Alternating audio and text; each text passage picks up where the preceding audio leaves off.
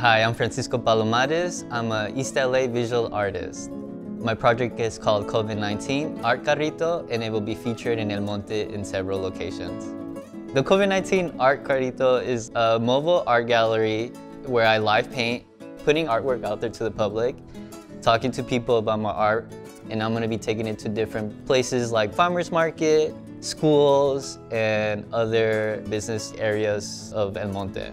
It's taking this car that's homage to all the street vendors, transforming that model to engage a community, a Latino community that has been greatly affected by the COVID-19 pandemic. The first thing that I painted is Pedro Piñata.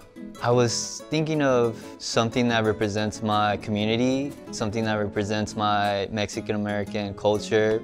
I've taken this item and then put it in an unconventional setting and it's sort of a reflection of what I've experienced.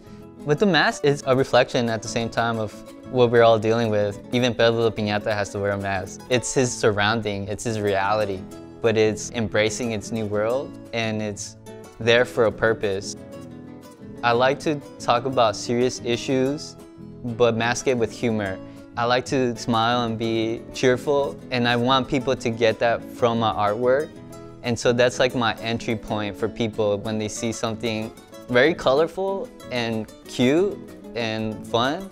It's gonna draw their attention. But when you look at it for longer, you start to see the little information that I put in there that's talking about a bigger subject. And so I'm taking the art and reflecting it about COVID-19, how it's affected the community.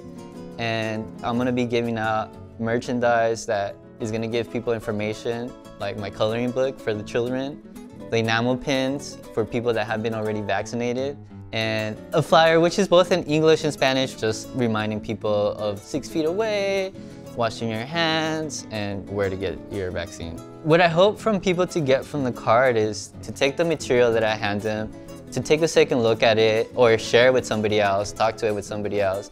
And by sharing it and they seeing like what kind of information I'm giving, that it's also coming from somebody that's very much from the same background. Telling you in Spanglish, you should get this. It's gonna help your community.